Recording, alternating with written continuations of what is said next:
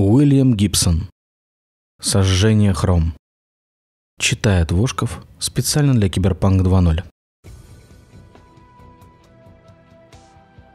Той ночью, когда мы сожгли хром, стояла жара. Снаружи, на улицах и площадях было светло, как днем. Вьющиеся вокруг неоновых ламп мотыльки бились насмерть об их горячие стекла. А на чердаке у Бобби царил полумрак. Светился лишь экран монитора да зеленые и красные индикаторы на панели матричного симулятора. Каждый чип в симуляторе Бобби я чувствую сердцем. С виду это самый обыкновенный Ono-Sendai 7, а попросту Cyberspace семерка. Но я столько раз его переделывал, что вам пришлось бы порядочно попотеть, чтобы найти хоть каплю фабричной работы во всей этой груде кремния. Мы сидели перед панелью симулятора и ждали, наблюдая, как в нижнем левом углу экрана таймер отсчитывает секунды. «Давай!» – выдохнул я, когда подошло время. Но Бобби уже был наготове. Он весь подался вперед, чтобы резким движением ладони ввести русскую программу в пас. Он проделал это легко и изящно, с уверенностью мальчишки, который загоняет в игровой автомат монеты и точно знает, победа будет за ним и бесплатная игра обеспечена.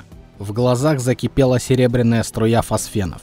И словно трехмерная шахматная доска в голове у меня стала разворачиваться матрица. Бесконечная и абсолютно прозрачная. Когда мы вошли в сеть, русская программа как будто слегка подпрыгнула.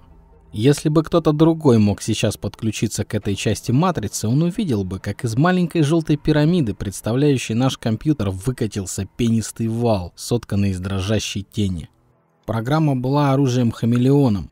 Она подстраивалась под локальные изменения цвета и тем самым прокладывала себе дорогу в любой встречающейся на ее пути среде. «Поздравляю!» — услышал я голос Бобби. «Только что мы стали служебным запросом по линии ядерной комиссии Восточного побережья. Если образно, мы как пожарная машина с ревущей во всю сиреной неслись по волоконно-оптическим линиям магистралям, пронизывающим кибернетическое пространство. А по сути для нас, вошедших в компьютерную матрицу, открывался прямой путь к базе данных Chrome.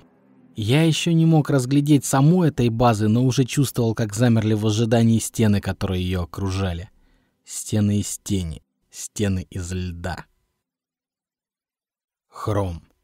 Кукольное лицо ребенка, гладкое, словно отлитое из стали, и глаза, которым место разве что на дне глубоководной атлантической впадины. Серые, холодные глаза, посаженные будто под страшным давлением. Поговаривали, что всякому, кто перебегал ей дорогу, она в лучших средневековых традициях готовила смертельный отвар. Отведавший его умирал не сразу, а лишь годы и годы спустя. Вообще о Хром много чего болтали, и во всех этих рассказах приятного было мало. Поэтому я погнал ее из сознания вон и представил перед собой Рикки.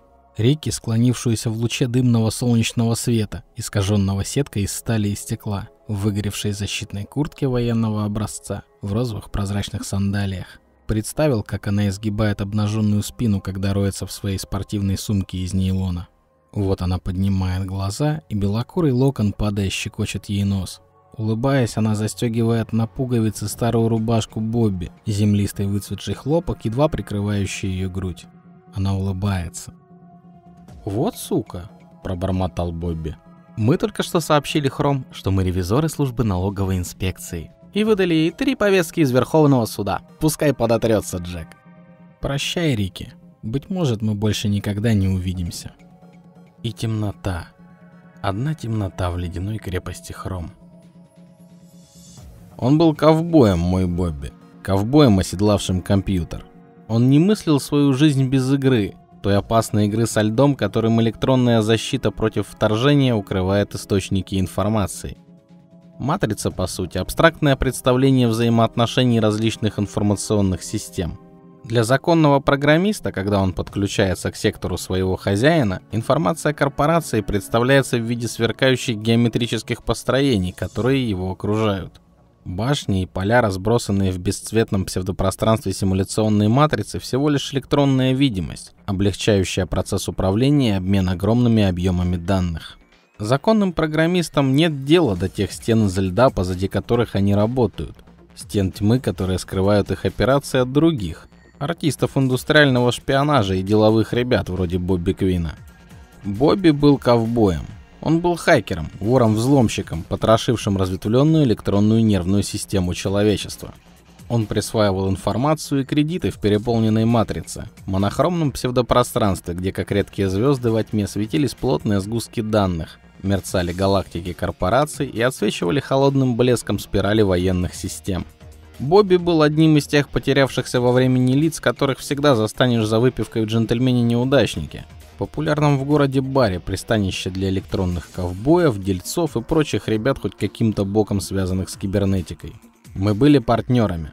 Бобби Квин и автомат Джек. Бобби вечно в темных очках, худощавый бледный красавчик. И Джек, зловещего вида парень, да еще в придачу с нейроэлектрической рукой. Бобби обеспечивает программу, Джек – железо. Бобби шлепает по консоли пульта, Джек устраивает все эти маленькие штучки, без которых не обскакать других. Так или почти так услышали бы вы все это от зрителей в «Джентльмене-неудачнике», если бы вам случилось туда заглянуть в ту пору, когда Бобби и не думал о Хром. Они не применули бы добавить, что Бобби уже не то, темпы падают, и найдется кое-кто из ребят, за которыми ему не угнаться. Ему было уже 28. Для электронного ковбоя это почти что старость. В своем деле мы были мастерами, но почему-то по-настоящему большая удача, та, которая приходит лишь раз, обходила нас стороной. Я знал, куда сунуться, чтобы достать нужное оборудование, и Бобби всегда был в ударе. Он мог сидеть, откинувшись перед пультом с белой бархатной полоской, пересекающей лоб, и пробивая себе дорогу сквозь самый крутейший лед, какой только бывает в бизнесе, выстреливать клавишами быстрее, чем мог уследить глаз. Но чтобы такое случилось, должно было произойти нечто, что заставило бы его выложиться на полную. А такое бывало нечасто. По совести говоря, мы с Бобби ребята неприхотливые. Уплаченная вовремя рента, чистая рубашка на теле. Большего мы от жизни не требовали. А что до высоких материй, то нам до них дела не было.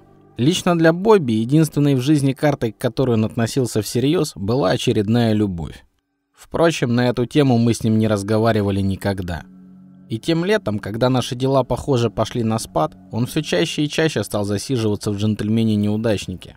Он мог часами сидеть за столиком неподалеку от раскрытых дверей и следить за проходящими толпами. И так из вечера в вечер, когда вокруг неоновых ламп кружатся безумные мотыльки, а воздух пропитан запахом духов и жратвы из уличных забегаловок. Его скрытые за очками глаза вглядывались в лица прохожих, и когда появилась Рики, он уже нисколько не сомневался, что она и была той единственной верной картой, которую он так ждал.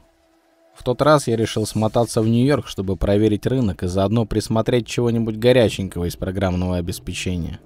В лавке Фина, в окне под пейзажем из дохлых мух, укутанных в шубки из пыли, светилась попорченная реклама Metro Galagraphics. Внутри было по пояс всякого хлама. Кучи его волнами взбирались на стены, и сами стены были едва видны за сваленной в беспорядке рухлядью и низко повисшими полками, заставленными старыми изорванными журналами и пожелтевшими от времени годовыми комплектами National Geographic. «Тебе нужна пушка», — сходу заявил Финн. «Тебе повезло, я как раз получил новенький Смит Вессон. Тактический образец, калибр 4,8. Под дулом у него закреплен ксеноновый излучатель. Батарейки в прикладе позволяют ночью, когда ни черта не видно, за 50 шагов от себя создать круг 12 дюймов, в котором светло как днем. Источник света так узок, что его почти невозможно засечь. Это вроде как колдуну ввязаться в ночную драку. Более всего он напоминал человека, на котором отрабатывали программу по искусственному замещению генов, чтобы вывести породу людей, приспособленных для рытья нор высокоскоростным способом. Я позволил своей руке с лязгом опуститься на стол и принялся выстукивать дробь. Скрытые сервомоторы загудели как рой москитов. Я знал, что Финн терпеть не может этой моей музыки. «Ты соберешься ее когда-нибудь починить?» Обгрызенной шариковой ручкой он потыкал в мою дюралевую клешню. «Может, придумаешь себе чего-нибудь потише?» «Мне не нужно никаких пушек, Фин. Я продолжал испытывать его слух, как будто не расслышал вопроса. «Ладно», — вздохнул он, — «как хочешь. Имеется одна вещь для тебя. Но что это, хоть убей, не знаю». Он сделал несчастный вид. «Я получил ее на прошлой неделе от малышей из Джерси, которые орудуют при мостах и туннелях. Значит, взял неизвестно что? Как это тебя угораздило, Афин? А я жопой чувствую. Он передал мне прозрачный почтовый пакет с чем-то похожим на кассету для магнитофона, насколько можно было увидеть сквозь рифленую пузырчатую оболочку. «Еще был паспорт», — сказал Финн. И кредитные карточки с часами. Ну и это. Я так понимаю, что ты приобрел содержимое чьих-то карманов? Он кивнул. Паспорт был бельгийский, подделка я его сжег. А с часами полный порядок. Фирма Porsche, часики первый сорт. Ясно. Это была какая-то разновидность военной программы вторжения. Вынутая из пакета, она походила на магазин к винтовке ближнего боя с покрытием из непрозрачного пластика. По углам и краям металл вытерся и светился. Похоже, за последнее время кому-то частенько приходилось ей пользоваться. «Я сделаю тебе на нее скидку, Джек, как постоянному покупателю». Я улыбнулся. Получить скидку у Финна все равно, что упросить Господа Бога отменить закон всемирного тяготения на то время, пока тебе нужно переть тяжеленный ручной багаж на десяток секций через залы аэропорта. «Похоже на что-то русское», — заметил я равнодушно. «Скорее всего, управление канализацией для какого-нибудь ленинградского пригорода. Как раз для меня». «Сдается мне», — сказал Финн, ты такой же умный, как мои старые башмаки, и мозгов у тебя не больше, чем у тех сосунков из Джерси. А ты думал, я тебе продаю ключи от Кремля? Сам с этим разбирайся. Мое дело продать. И я купил. Словно души, оторванные от тел, мы сворачиваем в ледяной замок Хром. Мы летим, не сбавляя скорости. Ощущение такое, будь там мчишься на волне программы вторжения и, зависая над водоворотами перестраивающихся глич-систем, пытаешься удержаться на гребне. Кто мы сейчас? Разумное пятно масла, скользящее в беспросветности льда. Где-то в тесноте чердака под потолком из стекла и стали далеко-далеко от нас остались наши тела, и времени, чтобы успеть проскочить, остается все меньше и меньше. Мы сломали ее ворота. Блев с повестками из суда и маскировка под налоговую инспекцию сделали свое дело, но хром есть хром. И наиболее прочный лед, который входит в ее средства защиты, именно для того и служит, чтобы расплевываться со всякими казенными штучками вроде повесток, предписаний и ордеров. Когда мы сломали первый пояс защиты, вся ее база данных исчезла под основными слоями льда. Стены льда, разрастаясь перед глазами, превращались в многомиллионные коридоры, в лабиринты полные тени. Пять ее контрольных систем выдали сигнал Мэйда и нескольким адвокатским конторам. Поздно. Вирус, проникнув внутрь, уже принялся перестраивать структуры ледяной защиты. А тем временем множащиеся субпрограммы выискивают любую щель, которую не успел затянуть лед. Русская программа извлекает из незащищенных данных номер телефона в Токио, вычислив его по частоте разговоров, средней их продолжительности и скорости, с которой Хром отвечала на эти вызовы. «Окей», — говорит Бобби. «Теперь мы прокатимся на звоночке от этого дружка из Японии. Кажется, то, что нам нужно». Вперед, погоняй, ковбой. Бобби читал свое будущее по женщинам. Они были как знаки судьбы, предсказывающие перемену погоды. Он мог ночами просиживать в джентльмене-неудачнике, ожидая, когда кончится невезение, и судьба, как карту в игре, подарит ему новую встречу. Как-то вечером я допоздна заработался на своем чердаке, распутывая один чип. Рука моя была снята, и манипулятор небольшого размера был вставлен прямо в сустав. Бобби пришел с подружкой, которую я прежде не видел. Мне обычно бывает не по себе, если кто-нибудь незнакомый застает меня работающим вот так, со всеми этими проводами, зажатыми в штифтах из графита, что торчат из моей культи. Она сразу же подошла ко мне и взглянула на увеличенное изображение на экране. Потом увидела манипулятор, двигающийся под вакуумным покрытием. Она ничего не сказала, стояла и просто смотрела. И уже от одного этого мне сделалось хорошо. «Знакомься, Рики, автомат Джек мой коллега». Он рассмеялся и обнял Рики за талию. И что-то в его тоне дало понять, что ночевать мне придется в загаженном номере отеля. «Привет», — сказала она. Высокая, моложе двадцати, и выглядела она что надо. В меру веснущатый носик, глаза по цвету напоминающие янтарь, но с темным кофейным отливом, узкие черные джинсы, закатанные по щиколотку, и простенький поясок из пластика в тон ее розоватым сандалиям. До сих пор ночами, когда не идет сон, она стоит перед моими глазами. Я вижу ее где-то там, за руинами городов, за дымами, и видение это подобно живой картинке, прилипшей к изнанке глаз. В светлом платье, которое едва прикрывает колени. Она была в нем в тот раз, когда мы остались вдвоем. Длинные стройные ноги, каштановые волосы вперемешку с белыми прядями взметнулись, будто в порыве ветра, прилетевшего неизвестно откуда. Они оплетают ее лицо, и после я вижу, как она машет мне на прощание рукой. Бобби устроил целое представление, пока я копался в стопке магнитофонных кассет. «Уже ухожу, ковбой», — сказал я, отсоединяя манипулятор. Она внимательно за мной наблюдала, пока я вновь надевал руку. «А всякие мелочи ты умеешь чинить?» — спросила она вдруг. «О, для вас что угодно. Автомат Джек все может». И для пущего авторитета я прищелкнул дюралюминиевыми пальцами. Она отстегнула от пояса миниатюрную Симстим деку и показала мне крышку кассеты, у которой был сломан шарнир. «Никаких проблем», — сказал я. «Завтра будет готово». «Ох-охо», — подумал я про себя. Сон уже вовсю тянул меня с шестого этажа вниз. Интересно, и надолго ли хватит Бобби с таким лакомым кусочком, как этот? Если дело пойдет на лад, то считаю уже сейчас, в любую из ближайших ночей мы могли бы прикоснуться к богатству. На улице я усмехнулся, зевнул и остановил рукой подвернувшееся такси. Твердыня Хром растворяется. Завесы из ледяных теней мерцают и исчезают, пожираемые глич-системами, разворачивающимися из русской программы. Глич-системы охватывают все, что лежит в стороне от направления нашего основного логического удара и заражают структуру льда. Для компьютеров они словно вирус, саморазмножающийся и прожорливый. Они постоянно меняются, каждая влад со всеми подчиняя и поглощая защиту Хром. Обезвредили мы ее или где-то уже прозвенел тревожный звоночек и помигивают красные огоньки. И Хром. Знает ли об этом она? Рики Дикарка. Так прозвал ее Бобби. Уже в первой неделе их встречи ей должно быть казалось, что теперь она обладает всем. Бестолковая сцена жизни развернулась перед ней целиком, четко, резко и ясно высвеченная неоновыми огнями. На ней она была новичком, но уже считала своими все эти бесконечные мили прилавков, суету площадей, клубы и магазины. А еще у нее был Бобби, который мог рассказать дикарке обо всех хитроумных проволочках, на которых держится изнанка вещей, про всех актеров на сцене, назвать их имена и спектакли, в которых они играют. Он дал ей почувствовать, что она среди них не чужая, что у тебя с рукой?» Спросила она как-то вечером, когда мы, Бобби, я и она, сидели и выпивали за маленьким столиком в «Джентльмене-неудачнике». «Дельтапланеризм», — сказал я.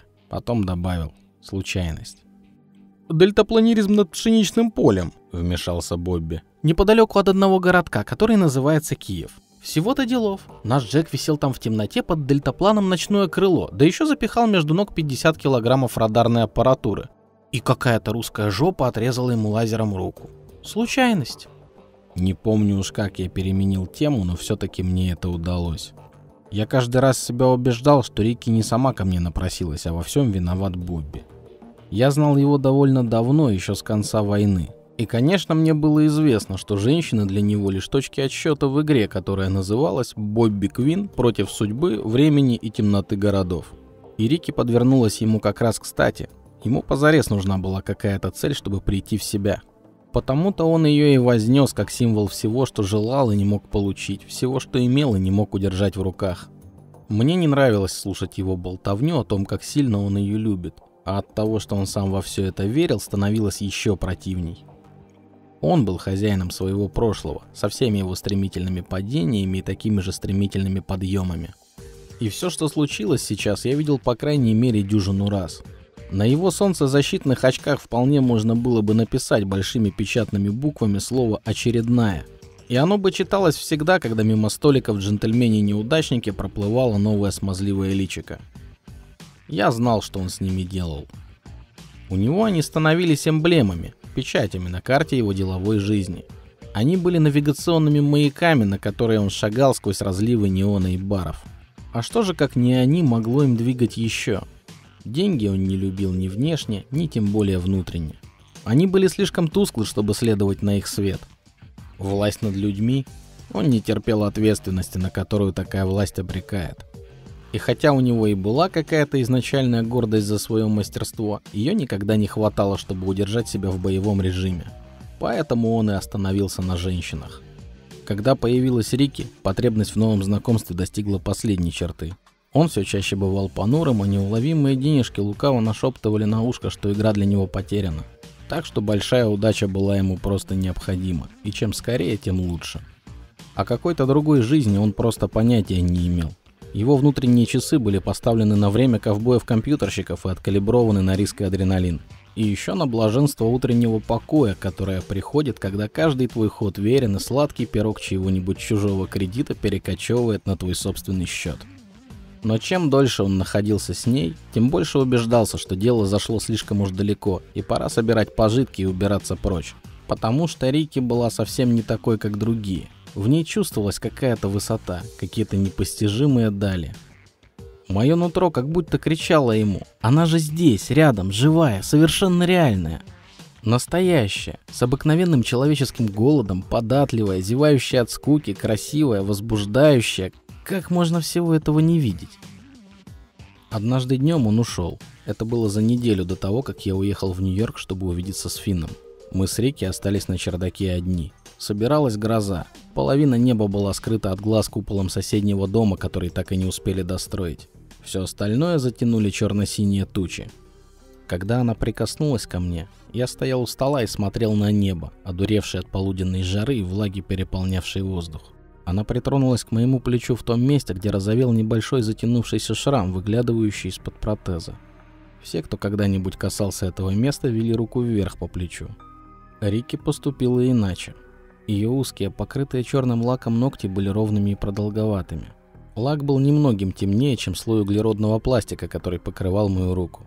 Ее рука продолжала двигаться по моей. Ногти черного цвета скользили вниз по сварному шву. Ниже, ниже до локтевого сочленения из черного анодированного металла и далее, пока не достигли кисти. Ее маленькие и мягкие, как у ребенка, пальцы сплелись с моими из перфорированного дюралюминия. Ее другая ладонь, взметнувшись, задела прокладки обратной связи. А потом весь полдень лил долгий дождь. Капли ударяли по стали и перепачканному сажей стеклу над постелью Бобби. Стены льда уносятся прочь, словно бабочки, сотканные из тени, летящие быстрее, чем звук. А за ними иллюзия матрицы в пространстве, которое не имеет границ. Что-то подобное видишь, когда перед тобой на экране мелькают контуры проектируемого здания. Только проект прокручивается от конца к началу, и у здания вместо стен разорванные крылья. Я все время напоминаю себе, что место, где мы находимся, и бездны, которые его окружают, иллюзия и не более. Что на самом деле мы не внутри компьютера Хрома, всего лишь подключены к нему через интерфейс, в то время как матричный симулятор на чердаке Бобби поддерживает эту иллюзию. Появляется ядро данных. Беззащитное. Открытое для атаки. Мы уже по ту сторону льда. Матрицы подобного вида я еще никогда не видел, хотя 15 миллионов законных операторов Chrome видят ее ежедневно и принимают как само собой разумеющееся. Мы в башне ядра ее данных. Вокруг, подобно огням, несущихся по вертикали товарников, мелькают разноцветные ленты, цветовые коды для допуска. Яркие главенствующие цвета, даже слишком яркие в этой призрачной пустоте, пересекаются бесчисленными горизонталями, окрашенными словно стены в детской, в розовое и голубое. Но остается еще кое-что, спрятанное за тенью льда в самом центре слепящего фейерверка. Сердце всей этой недешево обходящейся для нее тьмы. Самое сердце Хром.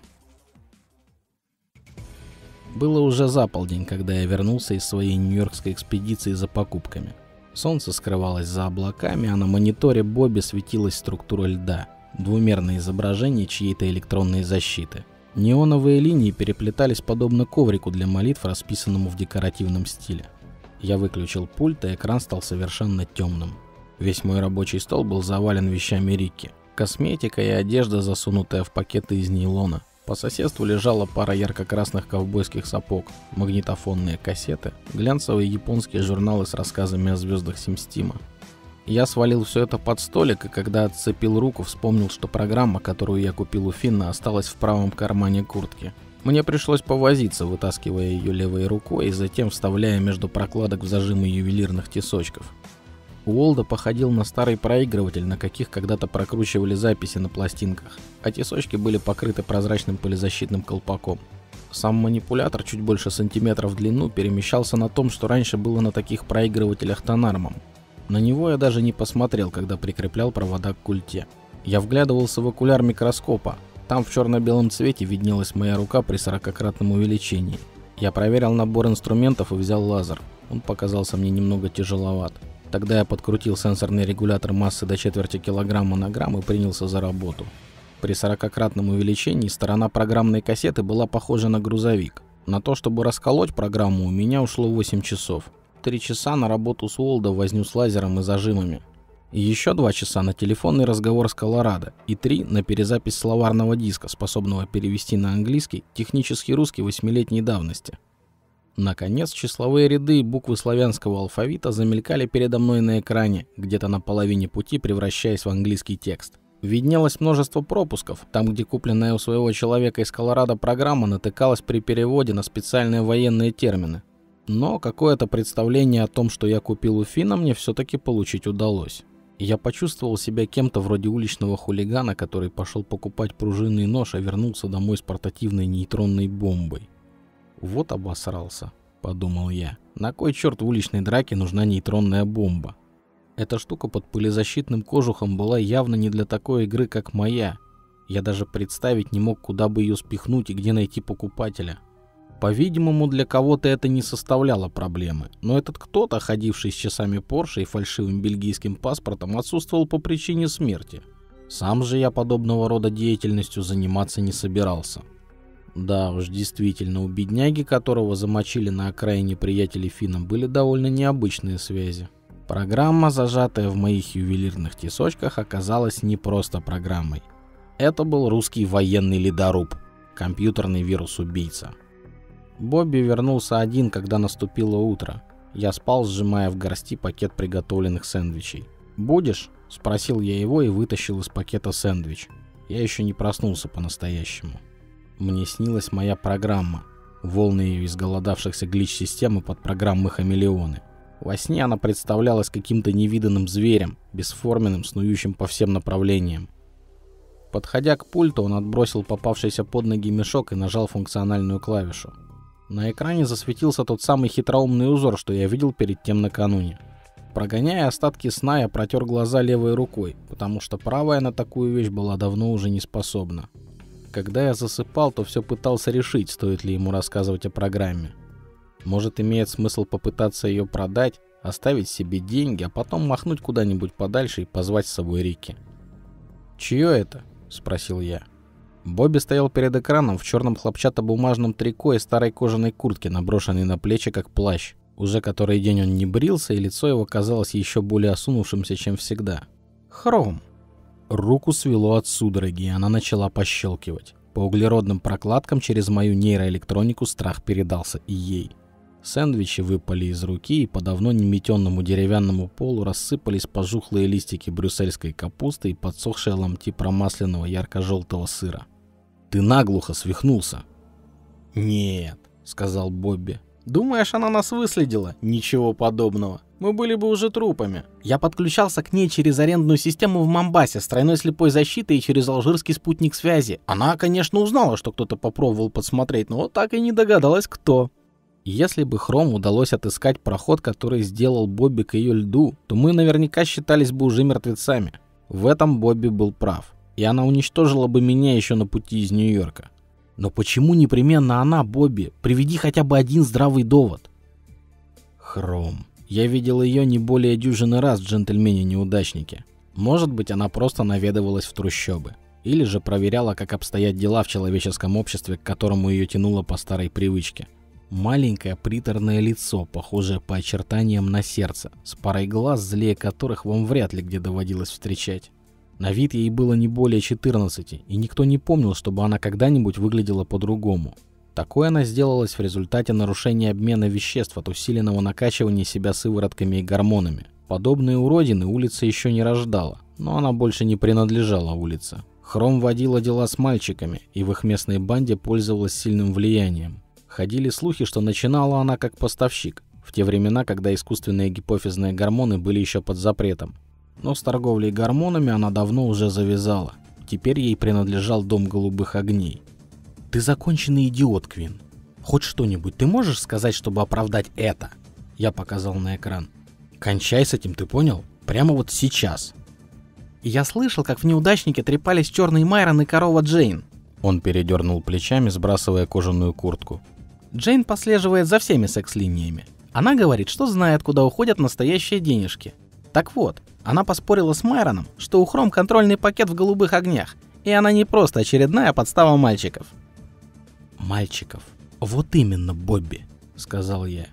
Или как они там себя еще называют. Хоть это ты можешь понять? Или ты забыл, что мы не вмешиваемся в их дела?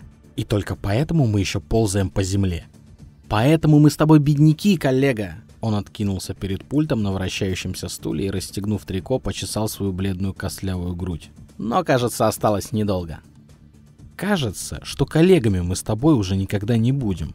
На это он усмехнулся. Усмешка его была действительно как у психа, звериная и какая-то вымученная. В этот момент я понял, что ему и вправду насрать на смерть. «Послушай», — сказал я, — «у меня еще остались кое-какие деньги, ты же знаешь. Взял бы их себе да смотался на метро до Майами. А там перехватишь вагон до бухты Монтега. Тебе нужен отдых, приятель. Тебе обязательно надо набраться сил. «Мои силы, Джек», — сказал он, набирая что-то на клавиатуре, — «еще никогда не были такими собранными, как сейчас». Неоновый молитвенный коврик на экране задрожал и стал оживать, когда включилась анимационная программа. Структурные линии льда переплетались с завораживающей частотой, словно живая мандала. Бобби продолжал ввод команд, и движение сделалось медленнее.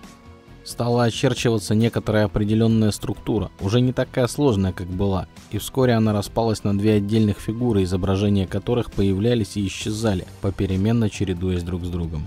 Работа была проделана на отлично. Я не думал, что он еще на такое способен. «Минуту!» — воскликнул он. «Вон там, видишь? Подожди-ка, вон там. И еще там. И там. Легко ошибиться. Вот оно.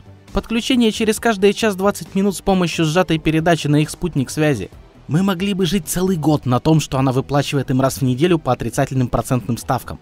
Чей спутник? Цюрих. Ее банкиры. У нее там банковский счет, Джек. Вот куда стекаются денежки. Корова Джейн была права. Я просто стоял, не двигаясь. Даже рука примолкла. Ну а как ты провел время в Нью-Йорке, коллега? Что-нибудь удалось достать? Что-нибудь такое, чем мне прорубить лед? Неважно что, все бы сгодилось.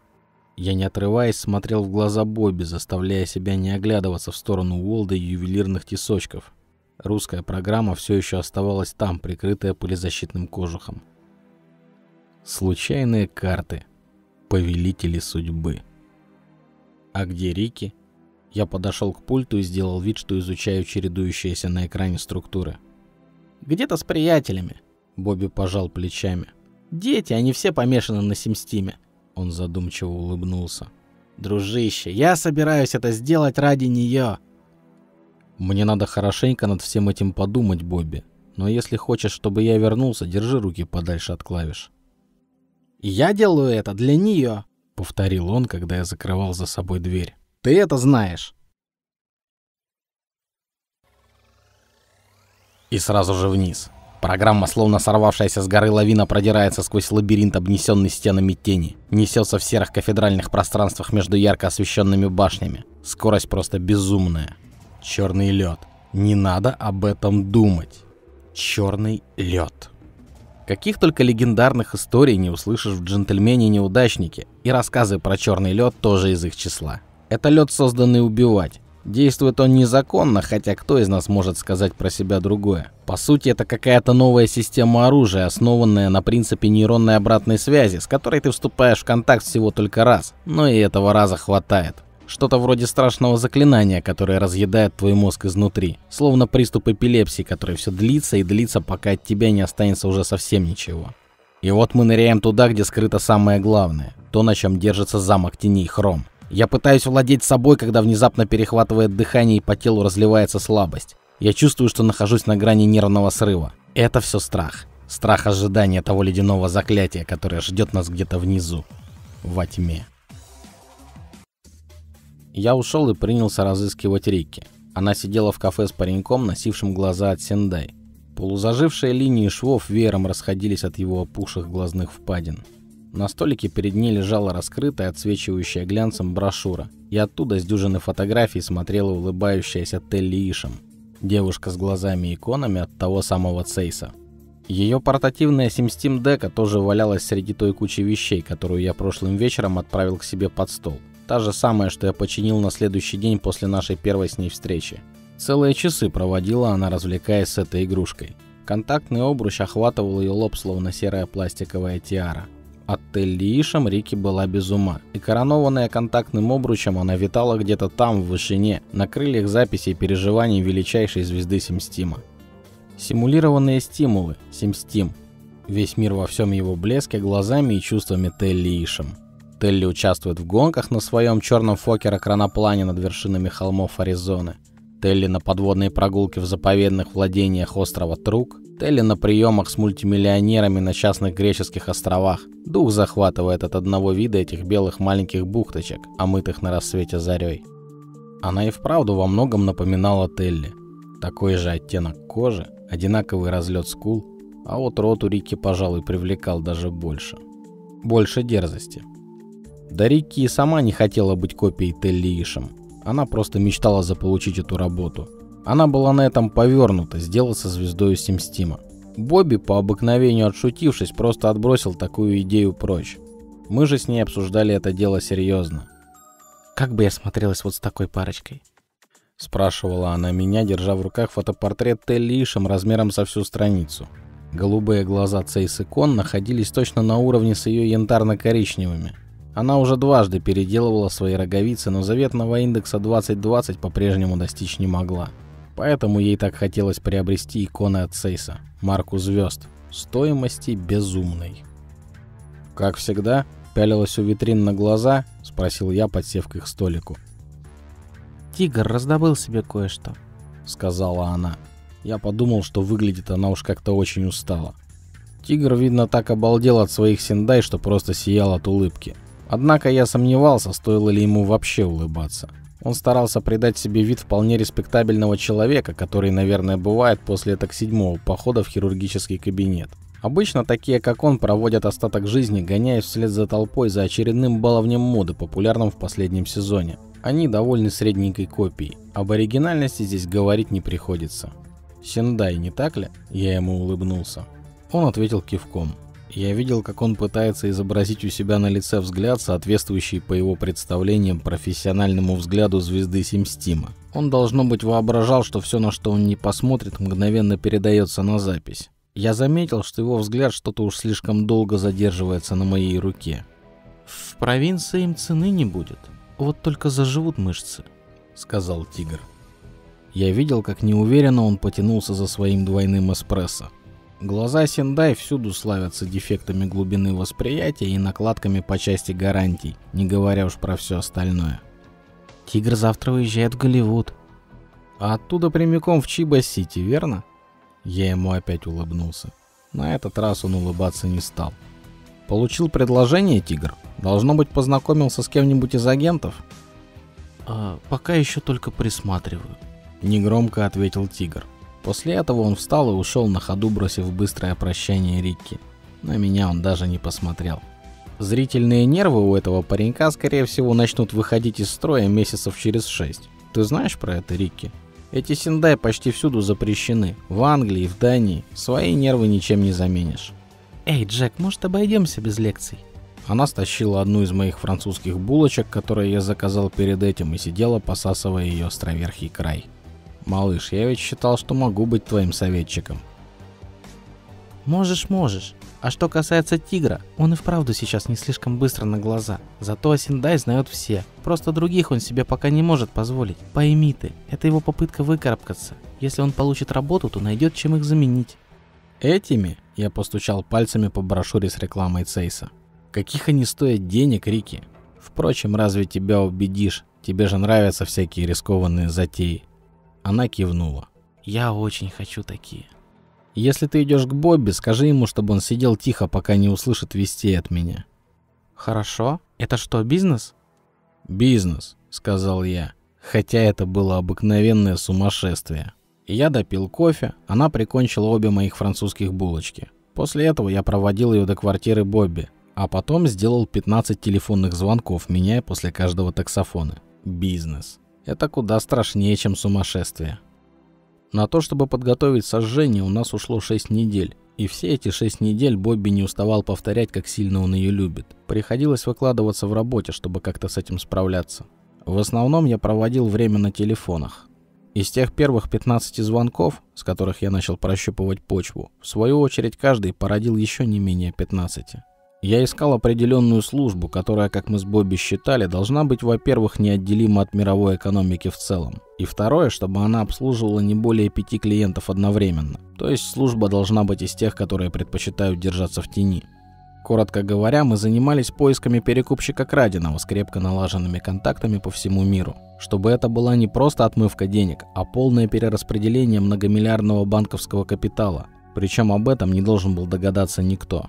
Все мои звонки оказались пустой тратой времени. И вот тут-то опять подвернулся Фин, который подсказал мне путь, по которому следовало идти. Я отправился в Нью-Йорк для покупки устройства типа черного ящика, потому что с оплатой всей этой прорвы телефонных звонков мы могли запросто разориться.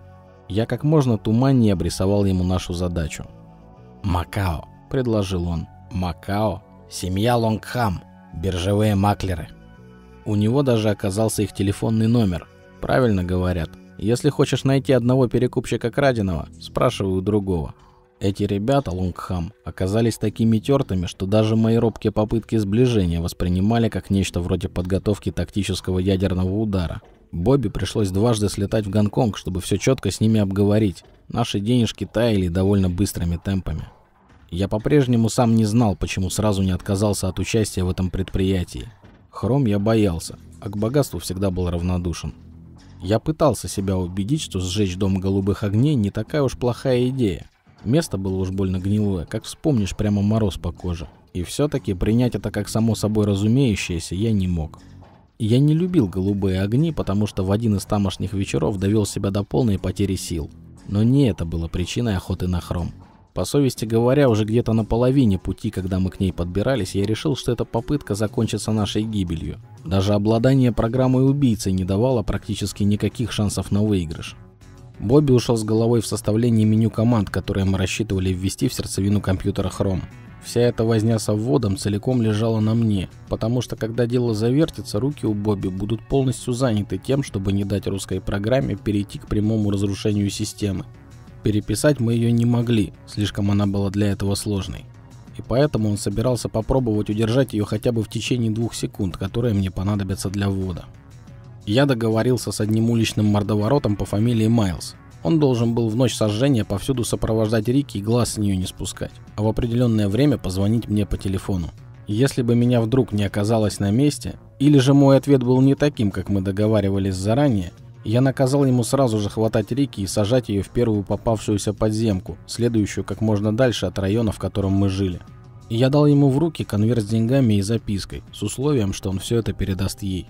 Бобби даже в голову не приходило подумать о том, что может случиться с Рики, если наша затея провалится.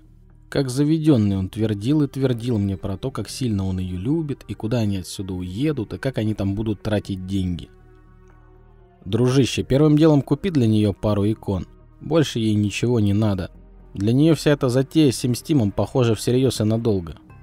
«Брось», — сказал он, оторвавшись от клавиатуры. Работа ей теперь не нужна. Мы устроим это для нее, Джек. Она мое счастье. Ей никогда в жизни больше не придется работать.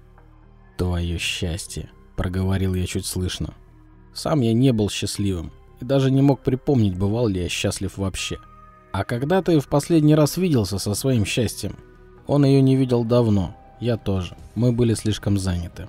Мне не доставало ее. Эта тоска напоминала мне одну ночь, проведенную в доме голубых огней, я и отправился-то туда в тот раз потому, что пребывал в безнадежной тоске после очередной потери. Для начала, как водится, я напился, а потом стал усиленно в себя вкачивать вазопрессиновые ингаляторы. Если ваша постоянная женщина вдруг решает объявить забастовку, ничего не может быть лучше приличной выпивки и порции вазопрессина. Он, пожалуй, самое убойное из всего, что придумала мазохистская фармакология. Выпивка делает тебя сентиментальным, а вазопрессин заставляет все вспомнить причем вспомнить в мельчайших подробностях. Это средство используют в клиниках для борьбы со старческой амнезией. Но улица любой вещи находит собственное применение. Вот и я купил себе сверхинтенсивный повтор своих плохих отношений. Вся незадача в этом деле состоит в том, что наравне получаешь и хорошее, и плохое. Отправляешься вспомнить какой-то из моментов звериного экстаза, пожалуйста, а в придачу получай и последний диалог – что ты сказал, что она тебе на это ответила, и еще как она ушла, так ни разу и не оглянувшись назад. Я не помню, что именно меня толкнуло податься в голубые огни, и как вообще я оказался в этих тихих заглушающих шаги коридорах. И правда ли я там видел бурлящую струю водопада, или это всего лишь была декорация, наклеенная на стену, или вовсе обычная голограмма. В тот вечер у меня не было недостатка в деньгах. Один из наших клиентов перечислил Бобби приличную сумму за прорубку трехсекундного окна в чьем-то льду. Я не думаю, чтобы вышибалам, которые стояли при входе, понравилось, как я выгляжу, но с моими деньгами это не имело значения. Когда с делом, ради которого я здесь оказался, было покончено, мне опять захотелось выпить. После этого я, помнится, отпустил что-то вроде остроты бармену по поводу некрофилов в кабинках, и ему это, по-моему, не понравилось. Во всяком случае, этот приличных размеров тип стал упорно называть меня героем войны, что, естественно, не понравилось уже мне.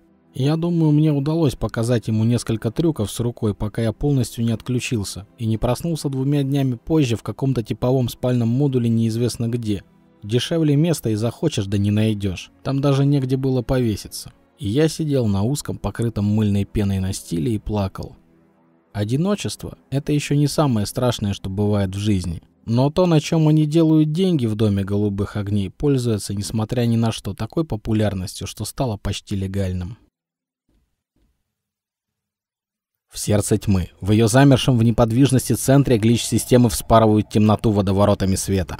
Они подобны полупрозрачным бритвам, раскручивающимся от нас во все стороны. Мы зависаем в центре безмолвного, словно снятого замедленной съемкой взрыва. Осколки льда разлетаются и падают вокруг целую вечность, и голос Бобби неожиданно прорывается сквозь световые годы всей этой обманчивой электронной пустоты.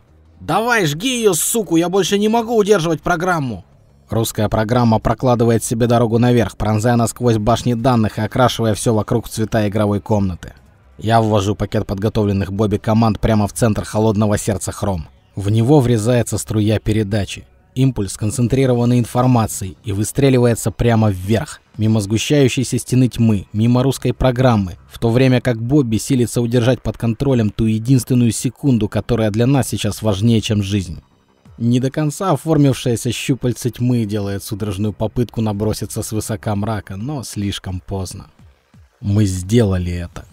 Матрица складывается вокруг меня сама по себе с волшебной легкостью оригами. Чердак пропах потом и запахами горелой электроники. В какой-то момент мне послышался резкий металлический звук.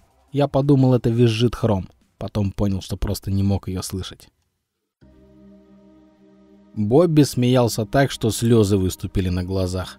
Цифры в углу монитора показывали 072405. Сожжение заняло чуть меньше 8 минут. А я смотрел и не мог оторваться от русской программы, расплавившейся в своем пазу. Основную сумму цюрихского счета Хром мы перечислили дюжине различных благотворительных организаций мира. Слишком уж там много было всего, что нужно куда-то деть. Мы знали, что ничего другого не остается, как просто-напросто переломить ей хребет, сжечь ее полностью без остатка. Иначе она непременно начнет за нами охоту. Лично себе мы взяли что-то около 10% и отправили их через организацию Лонгхам в Макао. Из этого 60% они прибрали себе, а то, что осталось, перекинули нам обратно через самый глухой и запутанный сектор гонконгской биржи.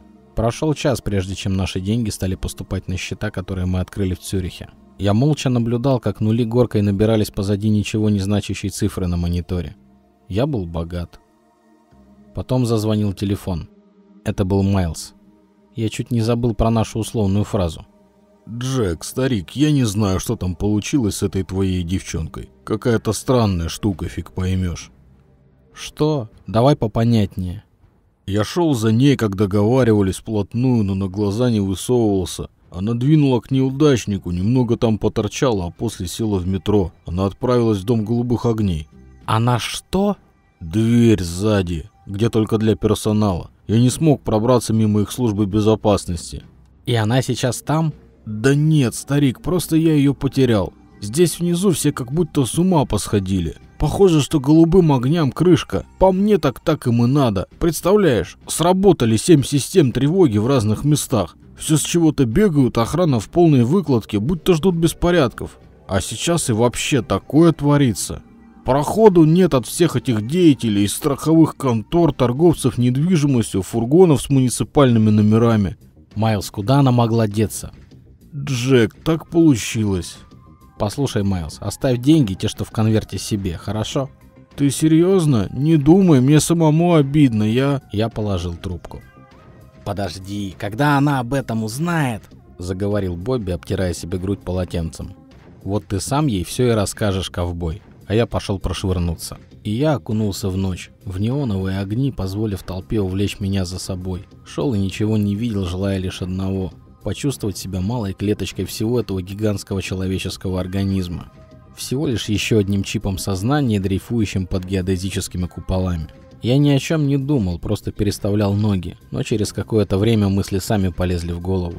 И вдруг все стало ясно. Просто ей нужны были деньги. Еще я думал о Хром.